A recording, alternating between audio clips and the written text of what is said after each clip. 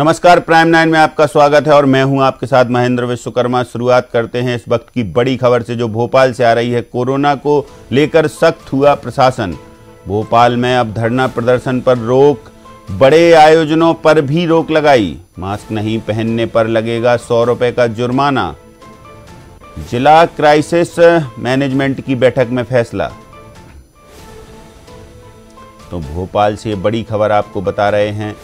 जहाँ बड़े आयोजनों पर रोक हो गई, कोरोना को देखते हुए प्रशासन सख्त नज़र आ रहा है।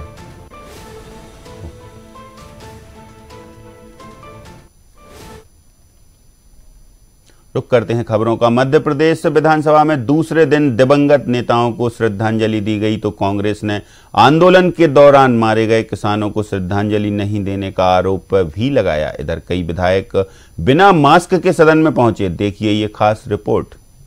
मध्य प्रदेश में कोरोना संक्रमण के बढ़ते मामलों के बाद सरकार फिर अलर्ट पर है। महाराष्ट्र के सीमावर्ती ज़िले बालाघाट में नाइट कर्फ्यू लगाने का फैसला लिया गया है। यहाँ रात 10 बजे से सुबह 6 बजे तक नाइट कर्फ्यू रहेगा। साथ ही महाराष्ट्र से आने वालों का आरटीपीसीआर टेस्ट किया जाएगा। तो भोपाल में अगले आदेश तक धरना प्रदर्शन और मेले के आयोजन की अनुमति देने पर रोक लगा दी गई है। भोपाल जिला क्राइसिस मैनेजमेंट कमेटी की बैठक में चिकित्सा शिक्षा मंत्री विश्वास सारंग ने अधिकारियों से कहा कि दुकानदारों को मास्क की अनिवार्यता और सोशल डिस्टेंसिंग का सख्ती से पालन कराने के निर्देश दिए जाएँ। नगर निगम रोको टोको अभियान शुरू करे और मास्क न लगाने वालों से सौ रुपए का जुर्माना वसूला जाए।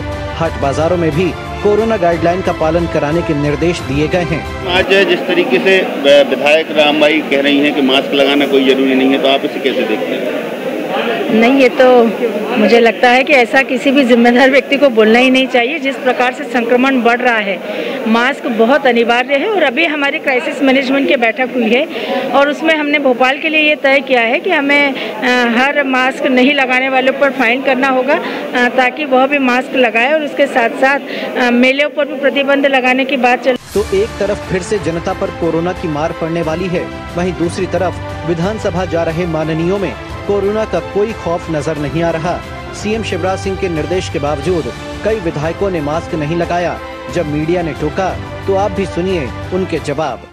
क्यों पहनना है? अनिवार्य किया है ना सरकार ने सीएम खुद बोले हैं। ठीक है पर जिस मास्क से मुझे तकलीफ़ हो घुटन होती हो उल्टी भर रही हो मैं कैसे पहन सकती हूँ? जनप्रतिनिधि नहीं तो जनप्रतिनिधि है तो इसका मतलब है कि मैं ऐसे काम करूँ कि खुद ही मर जाऊँ। इसलिए नहीं पहनती, क्योंकि मैं वैदिक जीवन पद्धति का शत प्रतिशत पालन करती हूँ। मैं सूर्योदय, सूर्यास्त के वक्त अग्निहोत्र करती हूँ, और उससे पूरा घर, परिवार, वातावरण जहाँ आप रहते हैं, बारह घंटे सैनिटाइज रहता है। ये विज्ञान की कसौटी पे कसी हुई बात है, और सस्वर सूर्यास्त के वक्त में पाठ करती हूँ, जो प्राणायाम है। एक पूरी सांस गहरी भरते श्लोक बोलते, तब अगला श्लोक बोलते। क्राइसिस मैनेजमेंट नहीं है, ये, यही मैनेजमेंट है इनका। कोरोना मैनेजमेंट कोरोना कब लाना है और कोरोना कब बंद करना है। जैसे ही विधानसभा खत्म होगी कोरोना आपको कहीं नहीं दिखेगा। वो विधानसभा चल रही, क्योंकि ये इनका वो है कि किस तरह से जब मौका आए तो विधानसभा वहाँ बंद दी है। और ये ये मास्क दिए हैं पूर्व ओटम स्पीकर ने वहाँ टिकता ही नहीं वो अपने आप हालाँकि मंत्री विश्वास सारंग ने कहा कि अब लॉकडाउन या बड़े शहरों में नाइट कर्फ्यू नहीं लगाया जाएगा। कहीं भी किसी भी तरह के लॉकडाउन या नाइट कर्फ्यू की व्यवस्था लगाने का ना कोई विचार है ना इस तरह का कोई निर्णय लिया गया है और मध्य प्रदेश में ऐसी स्थिति भी नहीं है। वहीं मंगलवार को सदन में हंगामा शुरू होने से पहले ही सदन की कार्यवाही को बुधवार तक के लिए स्थगित कर दिया गया। कांग्रेस ने किसान आंदोलन के दौरान मारे गए लोगों के लिए मौन रखने की मांग की कई अहम विधेयक भी पेश होने थे, लेकिन हंगामे के पहले ही कार्यवाही खत्म कर दी गई। अब देखना है कि क्या बुधवार को माननीय अपनी गलती सुधार कर मास्क लगाते नज़र आएँगे, या फिर नियम कायदे केवल आम लोगों के लिए ही हैं। साथ ही देखना है कि किन मुद्दों पर बुधवार को सदन में संग्राम छिड़ता है, और सबसे बड़ा सवाल कि विधानसभा उपाध्यक्ष कौन बनता है ब्यूरो रिपोर्ट डीएनएन न्यूज़ मुख्यमंत्री शिवराज सिंह चौहान ने कांग्रेस के पूर्व अध्यक्ष राहुल गांधी पर तंज कसा है। अपने ट्वीट में सीएम शिवराज ने लिखा कि चलो, राहुल जी ने अब दक्षिण भारत को भी कांग्रेस मुक्त करने का बीड़ा उठा लिया है। ये एक अलग ही तरह की उत्तर वर्सेस दक्षिण की राजनीति है, जो हम और आप नहीं समझ सकते। हमारे लिए तो पूरा भारत एक है श्रेष्ठ है। दरअसल केरल में होने वाले विधानसभा चुनाव के लिए राहुल गांधी प्रचार के लिए पहुँच रहे हैं और अपने बयानों को लेकर वो अब बीजेपी के निशाने पर आ गए हैं।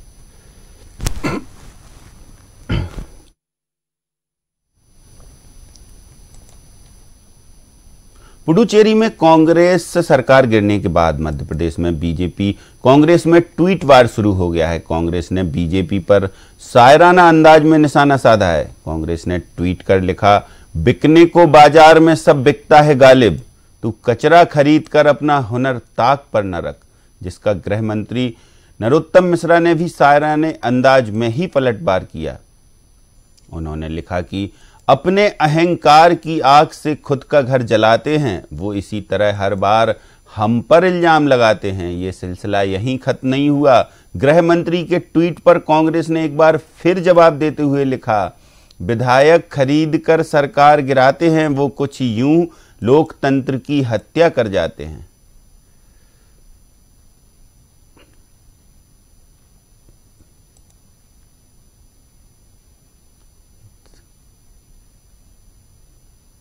इंदौर में नगरीय निकाय चुनाव को लेकर अपना दल पार्टी ने भी तैयारियाँ शुरू कर दी हैं। अपना दल पार्टी नगरीय निकाय चुनाव में इंदौर के पचासी वार्डों में अपने प्रत्याशी मैदान में उतारेगी, जिसकी तैयारी पार्टी के पदाधिकारियों ने कर ली है। अभी सबसे पहले तो जो दो विकल्प जो सबसे ज़्यादा है, एक बीजेपी और कांग्रेस, इससे तो लोग काफ़ी सारे त्रस्त हो चुके हैं। और अभी आगामी टाइम पे नगर निगम के चुनाव भी जल्दी होने वाले हैं। तो इसका मद्देनजर रखते हुए कल हमारे जो प्रदेश के उपाध्यक्ष हैं माननीय बघेल साहब तो वो कल यहाँ पे लगभग इंदौर शहर में उनका आगमन है। और लगभग हमारा सारा डिस्कशन इसी विषय पे रहेगा कि हमें क्या करना है, हमारे इंदौर के लिए क्या करना है, क्योंकि ऑलरेडी आपको तो पता है, इंदौर में तो काफ़ी सारी जो चीज़ें आज भी पेंडिंग चली रही है। बस उसका अपडेशन करना है। और प्रदेश उपाध्यक्ष हमारे जैसे कल आएँगे तो लगभग हमारे इंदौर में कुछ पिचासी वार्ड हैं। तो पिचासी वार्ड के जो प्रत्याशी भी यहाँ पे घोषित किए जाएँगे और कुछ हमारे जो ये है पार्टी कार्यकर्ता के नाम भी यहाँ पे कल अपडेट किए जाएँगे। तो एक बड़ी खबर की बात करते हैं, जहाँ बालाघाट में नाइट कर्फ्यू पर रोक लगा दी गई है। कलेक्टर ने इस संशोधित आदेश को निकाला है। पहले बालाघाट में नाइट कर्फ्यू लगा दिया गया था कोरोना को देखते हुए, लेकिन कलेक्टर ने अब नाइट कर्फ्यू पर रोक लगा दी है। हालाँकि पाँच से अधिक लोगों के एकत्रित होने पर अभी भी रोक है, लेकिन नाइट कर्फ्यू पर रोक लगा दी है। हालाँकि दो बातें अभी महत्वपूर्ण है कि पाँच से ज़्यादा लोग एकत्रित ना हो, इसका सीधा मतलब है कि धारा 144 लागू रहेगी।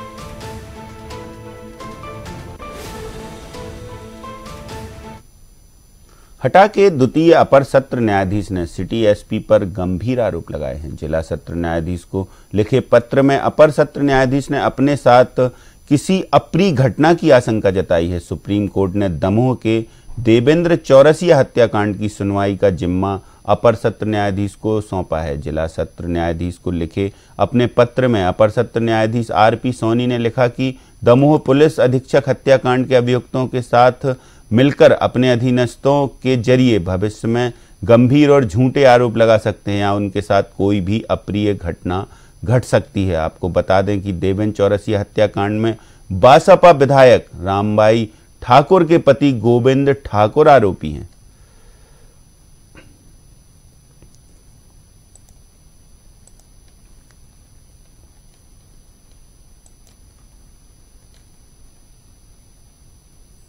दतिया ज़िले में ग्रामीण विकास विभाग की योजनाओं को ग्राम स्तर के सरपंच और सचिव ही पलीता लगा रहे हैं। क्षेत्र में मुक्तिधाम नहीं होने की वजह से लोगों को अपने खेतों में ही मृतक परिजनों का दाह संस्कार करना पड़ रहा है। मामला दतिया ज़िले के ग्राम जखौरिया का है, जहाँ अपने एक परिजन की मौत के बाद व्यक्ति को अपनी फ़सल काटकर खेत में ही अंतिम संस्कार करना पड़ा। मुक्तिधाम नहीं होने की जानकारी मिलने के बाद जिला पंचायत सीईओ ने जाँच के बाद कार्रवाई करने की बात भी कही।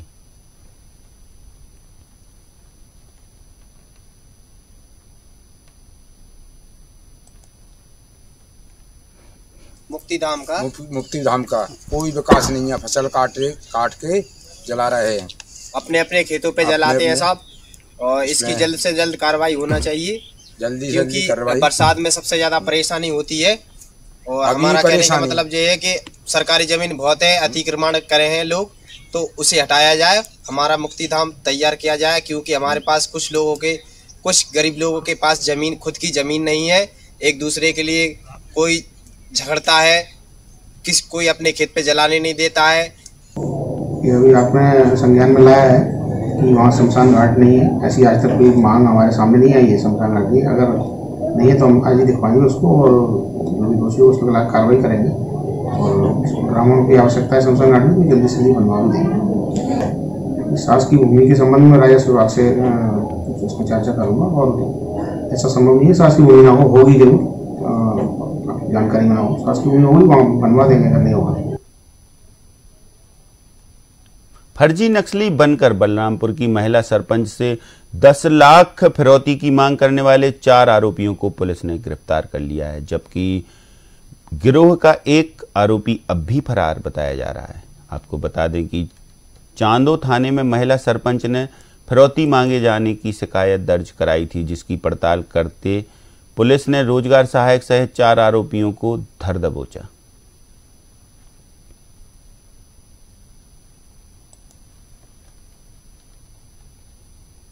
देने के बाद जो है, पुलिस ने इस पे तत्परता के साथ जो है, गंभीरता से प्रकरण को लेते हुए केस रजिस्टर किया, इसका इन्वेस्टिगेशन प्रारंभ किया। इन्वेस्टिगेशन के दौरान जो है, हमारे थाना प्रभारी रंजन लकड़ा और उनकी टीम इसमें लगी हुई थी। लगभग पंद्रह दिन बाद जो है, फिर कॉल आया पैसे का इंतज़ाम हुआ कि नहीं, इसको लेकर के पुलिस ने पुनः अपना इन्वेस्टिगेशन जो है, और आगे बढ़ाया, और उसमें आरोपियों की गिरफ्तारी जो है, इसमें ग्वालियर के बारा घाटा इंडस्ट्रियल एरिया में अवैध रूप से आटा कारखाना चलाया जा रहा था, छापे में।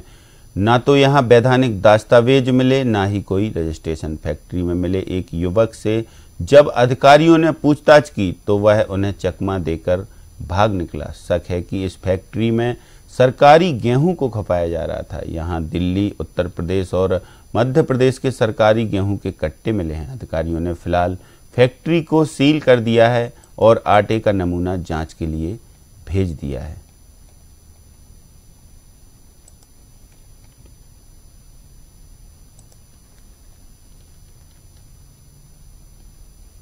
एंटी भूमाफिया एक्ट के तहत प्रशासन और नगर निगम ने बड़ी कार्रवाई करते हुए भूमाफिया घनश्याम सिंह राजपूत के रोहित नगर स्थित अवैध निर्माण पर बुलडोजर चला दिया। जानकारी के अनुसार सरकारी ज़मीन पर अवैध कब्जा कर यहाँ पर होटल का निर्माण किया जा रहा था। बताया जाता है कि भूमाफिया ने मात्र 2400 स्क्वायर फीट की परमिशन ली थी, लेकिन नपती में 5000 स्क्वायर फीट से ज़्यादा की ज़मीन पर निर्माण करते हुए पाया गया। आरोपी घनश्याम सिंह राजपूत पर पहले से ही मामले दर्ज हैं। वह लंबे समय तक जेल की सजा भी काट चुका है। ये पूरा मामला भोपाल के रोहित नगर का है।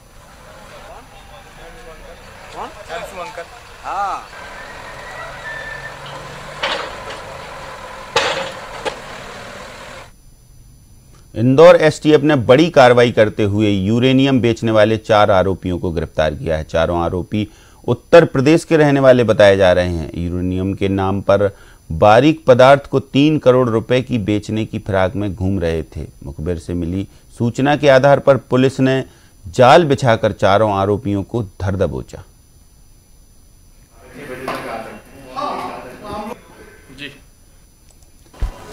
इसमें हमें हमारे विश्वस्त मुखबिर के द्वारा सूचना प्राप्त हुई थी कि उत्तर प्रदेश से चार व्यक्ति यूरेनियम को विक्रय करने के लिए इंदौर आ रहे हैं। तो मुखबिर की सूचना के आधार पर हमने अपनी टीम को लगाया था, जिसमें केसरबाग इंदौर केसरबाग ब्रिज के पास हमारी टीम ने चार युवकों को, उत्तर प्रदेश के युवकों को इस यूरेनियम पदार्थ बताते हुए जो बेच रहे थे, उनको पकड़ा।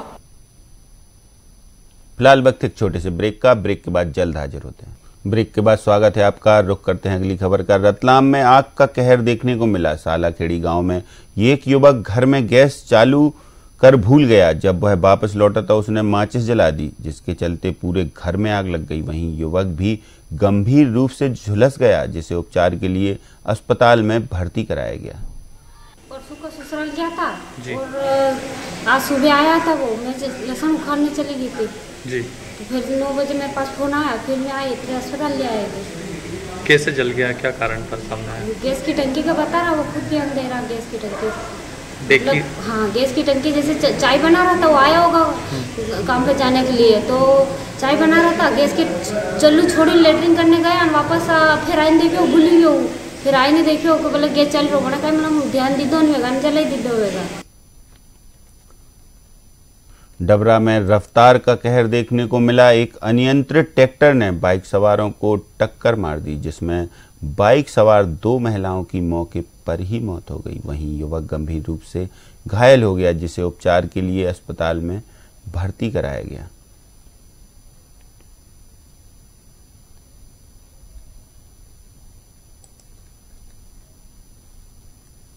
भिंड में फायरिंग का एक मामला सामने आया है, जहाँ गोपालपुरा स्टेट हाईवे पर टोल प्लाजा पर फायरिंग हुई। वहीं घटना के वक्त कुछ गुंडों ने फायरिंग कर टोल प्लाजा में तोड़फोड़ की। पूरी घटना सीसीटीवी में कैद हो गई, जिसके बाद पुलिस ने अज्ञात आरोपियों के खिलाफ हत्या के प्रयास का मामला दर्ज किया है और आरोपियों की तलाश शुरू कर दी है। वहीं घटना के बाद टोल कंपनी ने पुराने ठेकेदार को हटाकर नए ठेकेदार को टोल की कमान भी सौंप दी है। खरगोन में किसान के साथ मारपीट कर हत्या का मामला सामने आया है, जहाँ कुछ लोगों ने किसान को पीट पीट कर उसे मौत के घाट उतार दिया। मामले में पुलिस ने आपसी रंजिश की आशंका जताई है। पुलिस मामले की जाँच में जुट गई है।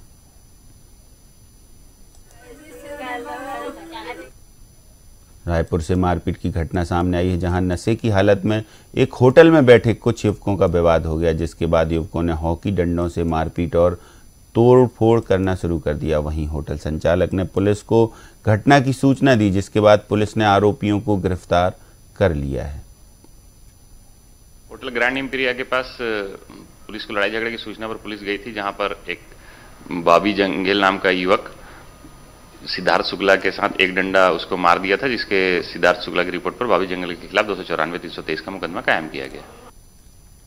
कैलारस के जौरा थाने में एक नवविवाहिता की संदिग्ध परिस्थितियों में मौत हो गई। हालाँकि उसे जलाने का मामला सामने भी आया है। जो पर, परसोटा ग्राम निवासी एक शख्स ने अपनी दो बेटियों की शादी एक ही घर में की थी जिन्हें दहेज की मांग को लेकर प्रताड़ित किया जाता था। ससुराल से भागकर मायके पहुँची मृतका की छोटी बहन भूरी ने ससुराल पक्ष पर अपनी बड़ी बहन जूली को मारकर जलाने का आरोप लगाया जिसके बाद थाने में परिजनों ने शिकायत दर्ज कराते हुए ससुरालियों पर लड़की की हत्या का आरोप लगा दिया। गाँव वाले भी जूली को पेट्रोल डालकर जलाने की बात कह रहे हैं। हालाँकि पुलिस ने मामला दर्ज कर तफ्तीश शुरू कर दी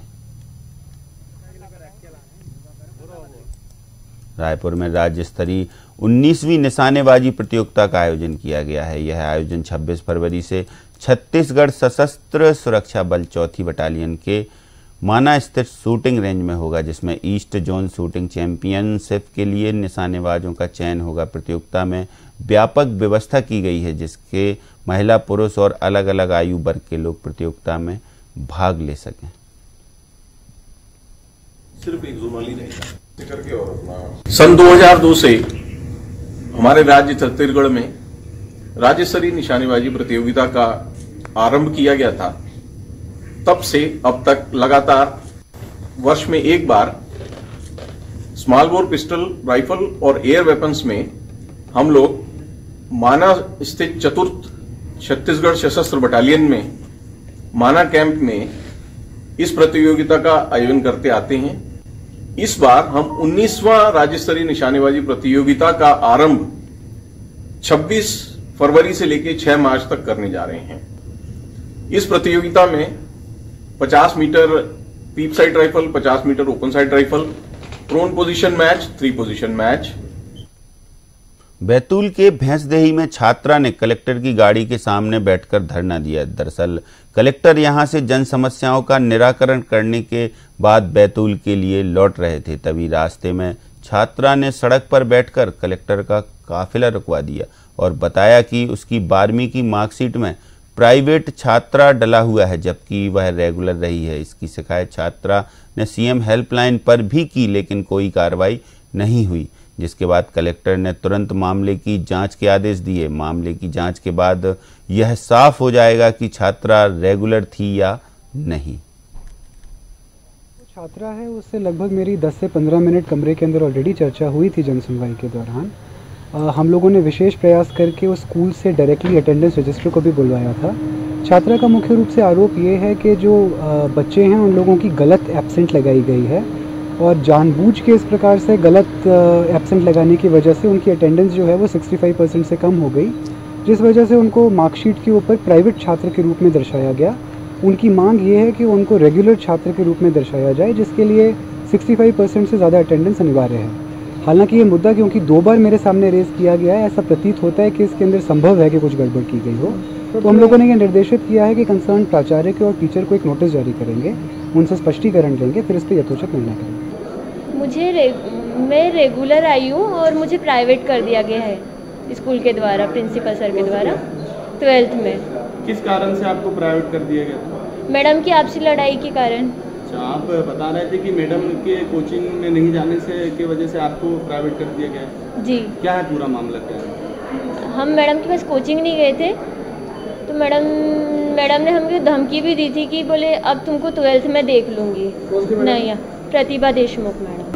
नहीं आया था। जी। मैंने इसमें दो बार जाँच भी कराई है और हर बार यही मेरे पास रिपोर्ट आई है कि इनकी अटेंडेंस शॉर्ट है। मैडम आपको बताना चाहूँगा कि जो रजिस्टर है आपने देखा होगा जाँच के हाँ, दौरान? मैंने आज देखा तो उसके अंदर त्रुटियाँ हैं और की करी। ओवर राइटिंग है तो उस पर आपने क्या जाँच की? नहीं उसमें जो बच्ची का जो है उसमें दो ही जगह ओवर राइटिंग है उस पर्टिकुलर गर्ल्स के पूजा के मैटर में। बाकी जो अब जो तथ्य वो नए नए सामने रख रही उसके संबंध में जाँच होगी। मैडम लगता है बिल्कुल दोषियों पर कार्रवाई करेगा शिक्षा विभाग। हाँ बिल्कुल। पंखाजूर में बीएसएफ की 132वीं वाहिनी ने उलिया गाँव में सिविक एक्शन प्रोग्राम का आयोजन किया, जिसे लेकर लोगों में काफ़ी उत्सुकता देखने को मिली। आसपास के सात से आठ गाँवों के लोग खास तौर पर युवा कार्यक्रम का हिस्सा बने। कार्यक्रम में बीएसएफ के जवानों ने जरूरतमंदों को दवाइयाँ और ज़रूरत का सामान वितरित किया। इस दौरान लोगों में भी जवानों के प्रति विश्वास देखने को मिला। जो सीओबी के एरिया में है जो इतना फार फ्लंग गढ़चिरौली डिस्ट्रिक्ट के साथ सटा हुआ हमारा कांकेर डिस्ट्रिक्ट का इतना दूर इलाके में सिविक एक्शन करने का मकसद गांव-गांव में हमारा सेंट्रल का एड पहुंचाना, डेवलपमेंट लाना और जो जितना जो हमारा एरिया इस क्षेत्र में ज़रूरत वाला सामान पहुंचाना, ये हमारा सिविक एक्शन का उद्देश्य है। उसके साथ साथ हमने देखा है इस एरिया में काफ़ी जो मेडिकल केयर का ज़रूरत है। तो इसलिए हमारा डॉक्टर साहब बिजावर में चल रहे महामंडल विधान और विश्व शांति महायज्ञ का आज अंतिम दिन रहा, जहाँ जैन धर्मशाला में महायज्ञ का आयोजन किया गया। यज्ञ के बाद नगर में विशाल कलश शोभा यात्रा निकाली गई, जिसमें जैन समाज के सभी वर्ग के लोग बड़ी संख्या में शामिल हुए।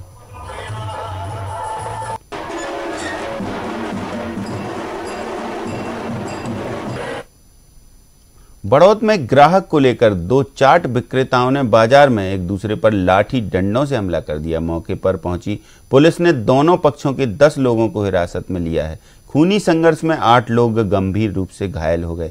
घायलों को सीएससी पर भर्ती कराया है। दरअसल बड़ौद के आज़ाद मार्केट में हरेंद और आँसू की चाट की दुकान है। एक ग्राहक को लेकर दोनों पक्षों में कहा सुनी हो गई और देखते ही देखते दोनों पक्षों में लाठी डंडे निकल आए। अब इस वीडियो पर खूब फनी मीम्स वायरल हो रहे हैं और झगड़े में मुख्य किरदार निभाने वाले चाचा को लोग व्यंग करते हुए इसका हीरो बता रहे हैं। कुछ लोग इस शख्स की हेयर स्टाइल की तुलना साइंटिस्ट अल्बर्ट आइंस्टीन से कर रहे हैं।